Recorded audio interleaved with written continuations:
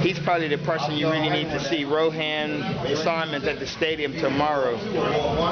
Yeah, he's up there Monday, Wednesday, and Thursday, and he's got all the high jumpers.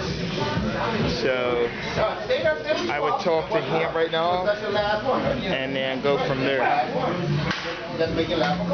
So high jump still, right? Okay. Right. You want somebody sitting on one back like that? Look, it's a